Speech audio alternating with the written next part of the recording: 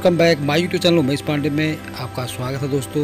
जैसा कि दोस्तों आप देख रहे हैं, मैं बसंत स्क्वायर मॉल से अपने घर की तरफ़ निकल रहा हूँ, मयूर विहार की तरफ़, जिसका डिस्टेंस है करीब 25 किलोमीटर।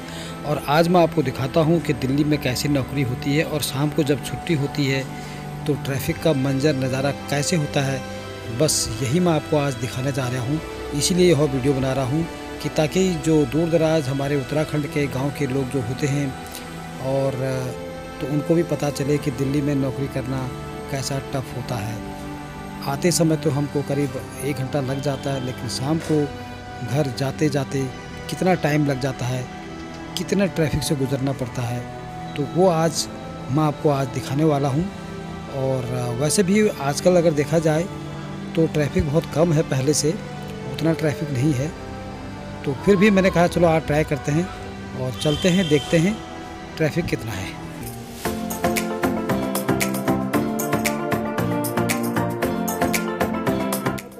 तो गाइज़ ऑफ़िस से करीब मैं दो किलोमीटर की दूरी पे आ चुका हूँ। मैं हूँ इस समय किशनगढ़ वाली रोड पे और मैं जा रहा हूँ सीधा भिगाजी कामा प्लेस की तरफ़। और तो यहाँ से थोड़ा सा हल्का फुल्का जाम ट्रैफ़िक मिलना शुरू हो चुका है। और पहले से कम है, क्योंकि जो दो साल पहले जो जाम लगता था, वो जाम अब नहीं लग रहा है, क्योंकि ट्रैफ़िक कम है। लोग होमवर्क ज़्यादा कर रहे हैं अपने घर से बैठे। तो पब्लिक रोड थोड़ा कमी आ रही है, लेकिन फिर भी ट्रैफ़िक है और ये मंजर आपको आगे नज़र मिलेगा, जहाँ मैं आपको दिखाऊँगा। तो चलते हैं आगे।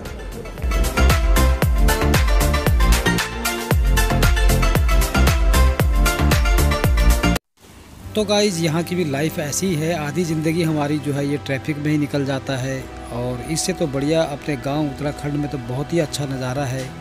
लेकिन क्या करें यार, यहाँ भी आप दो रोटी कमाने के लिए आ रखे हैं तो यहाँ भी नौकरी करनी ज़रूरी है, बच्चे पालने ज़रूरी है। आज मुझे यहाँ पे जो है हरी बत्ती मिल गई, लेकिन आज तक कभी यहाँ पे हरी बत्ती नहीं मिली। आज पहली बार यहाँ पर हरी बत्ती मिली मेरे को जबकि यहाँ पर कम से कम चार मिनट का रेड लाइट होता है। सामने आप देख रहे हैं सरदे नगर का इलाका शुरू हो चुका है, और उसके बाद एक फ्लाईओवर आएगा, फिर वहाँ से सफदरजंग और एम्स हॉस्पिटल दिख तो नज़ारा मैं ये बता रहा था आपको कि दिल्ली यार ऐसी है यार, दिल्ली में नौकरी करना तो बहुत बेकार है यहाँ, क्योंकि यहाँ ट्रैफ़िक बहुत ज़्यादा है। जब घर आदमी पहुँच जाए, तब समझ लो कि हाँ आदमी घर पहुँच गया। बाकी यहाँ कोई भरोसा नहीं है किसी का, क्योंकि इतना ट्रैफ़िक होता है, आज तो ट्रैफ़िक नज़र ही नहीं आया, क्योंकि आज वीडियो बना रहा हूँ, आज ट्रैफ़िक भी बहुत कम दिखाई दे रहा है। तो फिर भी लेकिन मैंने कहा, चलो, वीडियो बना लो।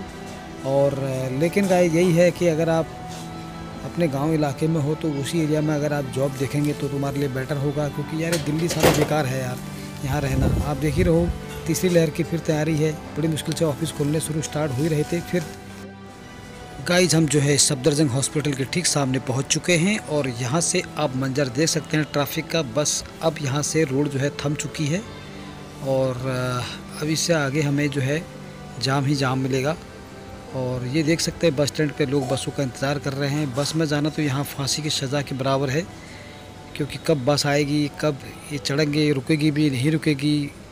और एक तो दिल्ली में बस में ये नियम हो चुका है कि अगर बस फुल है तो वो रुकेगी नहीं यहाँ पे। अगर उसमें सीट खाली होगी, तभी ये बैठ पाएँगे यहाँ पे, और तभी वो रुकेगी भी यहाँ पे। तो ये भी नियम कोरोना के बाद स्टार्ट हो चुका है दिल्ली के अंदर। तो इसीलिए मैं कह रहा हूँ यार कि नौकरी होकरी अपने अपने एरिया में देखें तो सबसे बेटर होगा। दिल्ली में तो ज़िंदगी बहुत लंबी नहीं है यहाँ पे। पैसा है, सब कुछ है, साधन सब कुछ है, ऐसी बात तो नहीं है। पर यह है कि यहाँ पर जिन लाइफ नहीं है।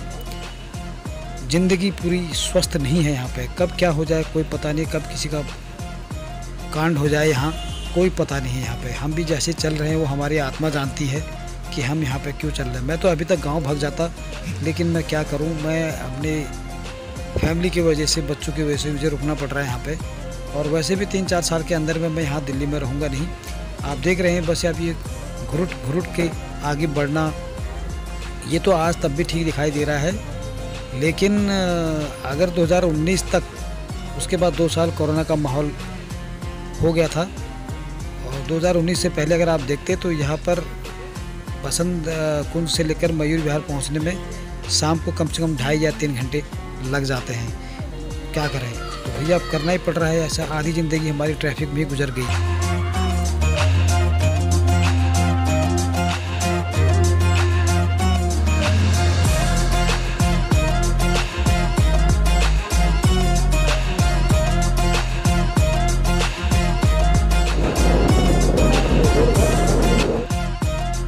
अब मैं बारापुला रोड के तरफ़ आ चुका हूँ और आप देख रहे हैं, बस यहाँ से स्टार्ट हो चुका है।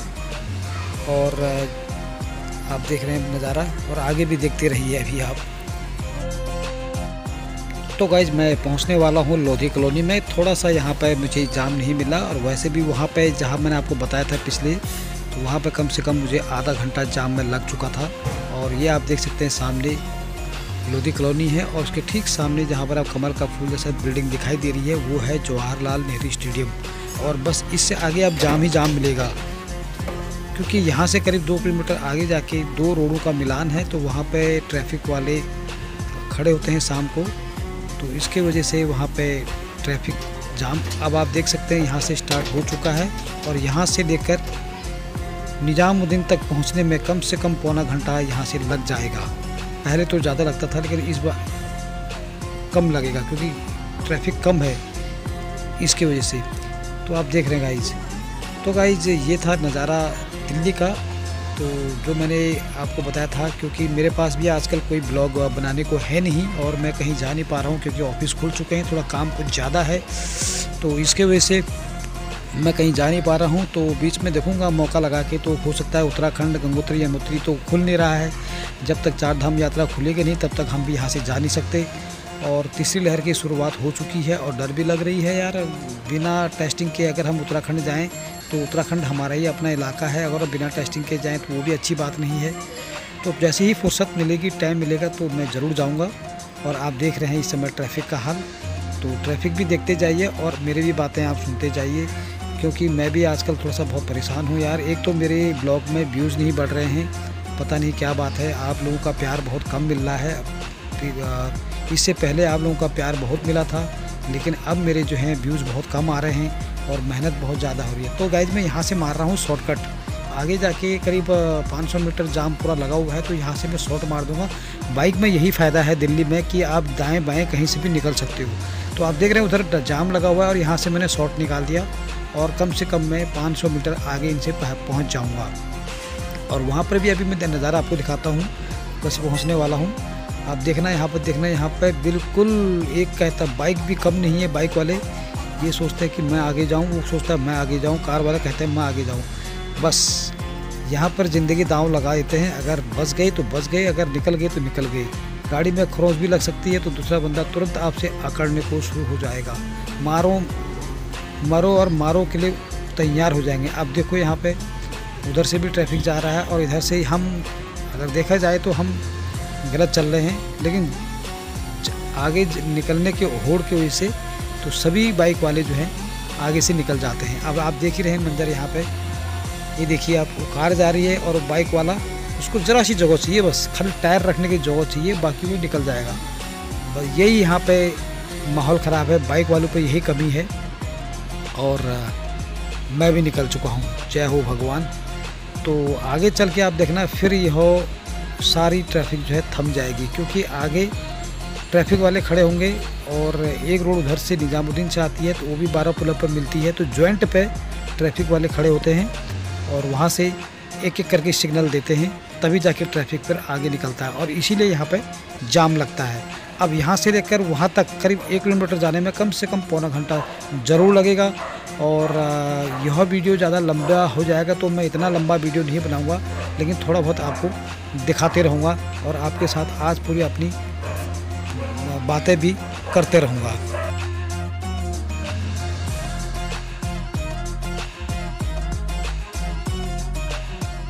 तो गाय जैसे रेंगते रेंगते करीब मुझे आधा घंटा, पौना घंटा इस बारापुला रोड पर हो चुका है और यहाँ से मेरा घर मात्र केवल 15 किलोमीटर की दूरी पर है।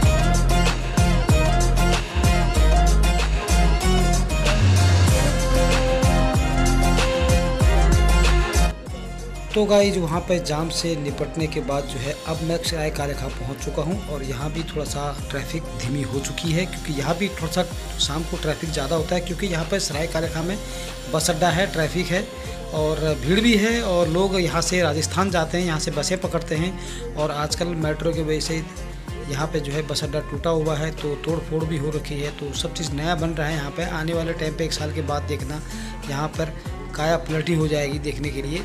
और एक से एक नए नए तकनीकी आप यहाँ पर देखेंगे। और यहाँ से जो है, ऑल राजस्थान के लिए बसें मिलती हैं और पूरा सराय काले का नज़ारा है।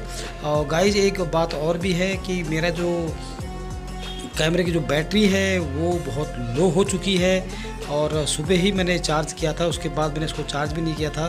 तो आप देख रहे हैं, सराय काले में भीड़ यहाँ पर बसों का इंतज़ार कर रहे हैं। तो दिल्ली में बसों का सफ़र बहुत ही बेकार है और अपनी गाड़ी में अगर तब भी है, तब भी ठीक है। अगर जो आदमी बसंत कुंज से अगर बस बस से अगर मयूर बिहार आएगा तो वो तो कम से कम चार घंटे से पहले पहुँच नहीं पाएगा। जब ढाई घंटे में हम अपने बाइक वाले पहुँच रहे हैं तो बस में आने में आप लगा लीजिए कितना टाइम लगेगा। ये है पूरा सराय काले खा का नज़ारा, जो पूरा बन रहा है। और मेट्रो की तोड़ फोड़ के और जैसे कि आप देख सकते हैं, बिल्कुल मेरे बाएँ तरफ़ आप देखेंगे, पूरा नया बन रहा है यहाँ पे।